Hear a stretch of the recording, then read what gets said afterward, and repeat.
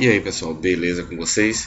É, nesse vídeo eu vou estar ensinando a vocês a fazer uma atualização sem precisar instalar nada, sem precisar fazer nada, tá? É, o próprio sistema ele vai fazer uma atualização automática e vai, vai mudar né, para a versão mais recente do seu Windows, tá? Isso serve para quem tem Windows Single Language, tá? Que é o na, mais ou menos na tradução que eu entendo, é linguagem única, né? Single, single, single, single, single language, alguma coisa assim, eu não entendo muito inglês, não. E ou tem a versão home do Windows 11, tá? Então, se você quer mudar para a versão profissional, na verdade, o Windows 11 Pro, é, você fazendo isso, você vai resolver o seu problema, tá? Pelo menos comigo aqui funcionou e com outras pessoas também funcionaram, né? Espero que funcione para você também.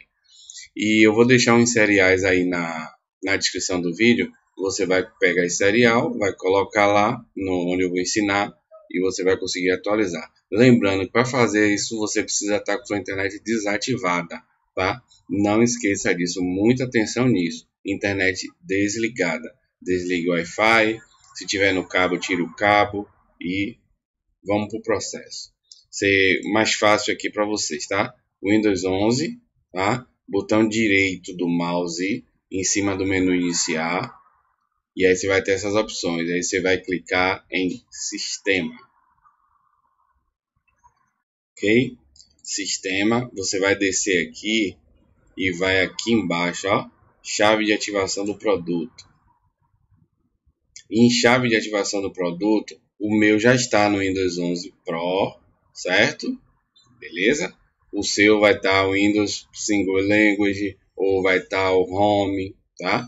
Ou qual outra versão e você quer mudar para Pro para poder aproveitar algumas funções que tem no Pro e não tem no, nas versões anteriores, tá? Assim como o vídeo que eu fiz passado do Sandbox, do Windows Sandbox, que é um computador dentro do seu computador, você pode testar suas coisas sem comprometer o seu sistema original, tá? Mas para você ter essa função né, ativa, nativa, ela é uma função, não é um aplicativo que você instala, ela já é nativo do próprio Windows 11 Pro, você precisa mudar para o Windows 11 Pro, beleza?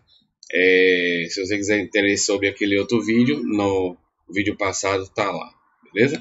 Então, Windows 11 Pro, você vem aqui alterar a chave do produto, clica e vai pegar o serial que eu vou deixar aí na descrição, vai colocar aqui e vai dar um avançar. No que você der um avançar, lembre-se que a internet tem que estar desligada, não vai fazer errado, certo? É, no que você avançar, vai aparecer essa mensagem aqui, ó. Tirei um print aqui para vocês verem, já que eu já fiz. Vai aparecer essa mensagem dizendo que vai atualizar, vai ter novos recursos, tal. Você vai clicar em iniciar, ele vai fazer um processo talvez ele peça para reiniciar sua máquina e aí vai fazer todo o processo e pronto. É rapidinho, a atualização é rápida. Ele só faz adicionar os novos recursos, não é uma nova instalação, beleza? E sua versão passa a ser o 11 Pro. Lembrando, não me responsabilizo na sua, sobre a sua ativação, tá?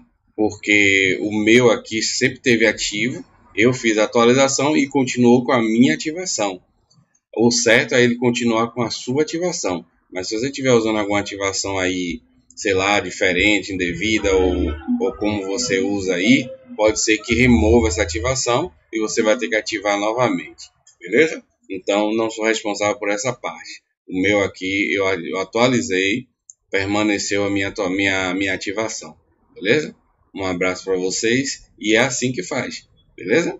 Um abraço, qualquer dúvida, os comentários estão aí. Não esqueça de deixar aquele like no vídeo e até o próximo vídeo. Fui!